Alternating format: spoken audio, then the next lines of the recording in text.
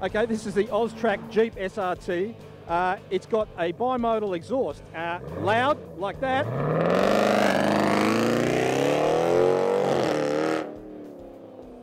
Thanks for nothing. Apparently, it's got a, a quiet mode too, but I don't think anyone's ever bothered trying that. I wouldn't.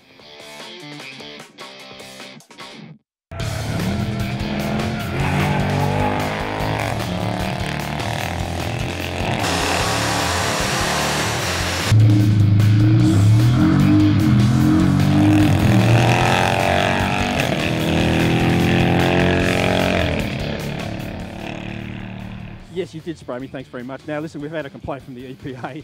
Uh, you've been heard in Adelaide. this thing has the noisiest pipes I've ever heard.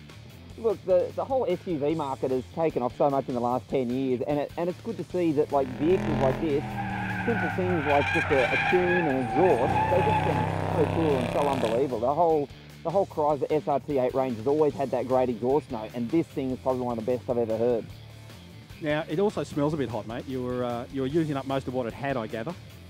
Uh, yeah, look, obviously, look, it's a, it's a big, heavy four-wheel drive. The brakes do cop a big workout out there. But it, again, the whole SUV market, the way that it's developed over the last 10 years, it's surprising how good these things can still be out on track. Look, it's never going to outperform sort of some of the other cars here in terms of its cornering, but it goes to show that with a few little sort of tweaks, you can still make it a good, fun car. All right, mate. Well, you go and pick the kids up, and I'll get your next car ready. Oh, thank you. 0 to 100, 4.8 seconds. 13 dead down a standing quarter mile. Around Sydney Motorsport Park South Circuit, a 108.4 and a whopping 254.3 kilowatts on the dyno.